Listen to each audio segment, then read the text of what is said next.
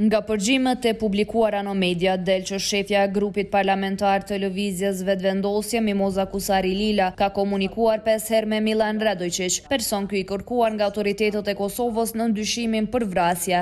Seriozisht po të them, jo vetëm ty, por edhe kryeministri do t'i thyej koka dhe të gjithëve me rend, nëse do ta thoja këtë, ke folë pesë herë me Millanin, i thotë ish-deputeti Sllavko Simiq, shefës së grupit parlamentar të Lëvizjes Vetëvendosje. Për këto, Simiq e siguron Kusari Lilen se do të veprojnë ashtu siç ajo është marrë vesh me Millan Radoiçiq. Mes tjerash, Simiq i ka lexuar asaj një mesazh nga Radoiçiq, ku konfirmohet se Lista Sërbe ka votuar për hir të grupit parlamentar që drejton Mimoza Kusari Lila. Po ashtu del që ajo të ketë diskutuar me Radoiçiq edhe për energjinë elektrike në veri të Kosovës. Biseda me Simiq është e koncentruar mbi bashkëpunimin parlamentar për të kaluar ligjet që kanë nevojë për dy të tretat e deputetëve, mes të cilëve edhe ligji për pagën minimale nga ku u përjashtuan veteranët e luftës së UÇK-së. Ambasadori amerikan në Kosovë, Jeffrey Hovenier nuk ka komentuar bisedën e Kusari Lilës me Millan Radoiçiq, vetëm ka theksuar faktin se ai është në listën e zezë të SHBA-së për krim të organizuar.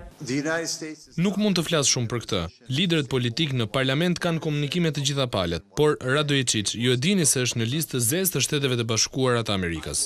Në Kosovë kërkohet dorëheqja e Mimoza Kusari Lilës nga posti i saj publik e hetim nga ana e Prokurorisë. Ta thërrasë që dje zonjën Lila për intervistë, pra të paktën për t'i marrë informatat e para dhe për të parë se a ka ndonjë shkelje ligjore, sepse mos të harrojmë aty janë kanë bërë negociata dhe marrëveshje për politikat e brendshme të Kosovës me një person që është në listën e zezë dhe i akuzuar për krime të ndryshme, pra është në kërkim. Mimoza Kusari-Lila e ka pranuar që ka biseduar me Millan Radoiçiq, duke thënë që ka komunikuar me të përmes Sllavko Simiq për tre-katër minuta. Për Top Channel, Leonita Bajrami, Prishtinë.